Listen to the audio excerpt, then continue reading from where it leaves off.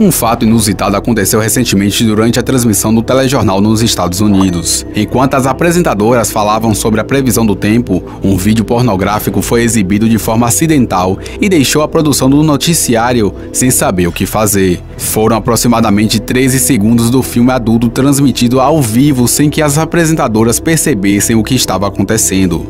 A âncora do telejornal estava conversando com a colega de programa sobre a previsão do tempo, porém, Nenhuma das duas perceberam o vídeo que estava sendo exibido para os telespectadores. Como se tudo estivesse ocorrendo normalmente, as apresentadoras conversaram e interagiram com assuntos pertinentes ao tema com auxílio do vídeo adulto.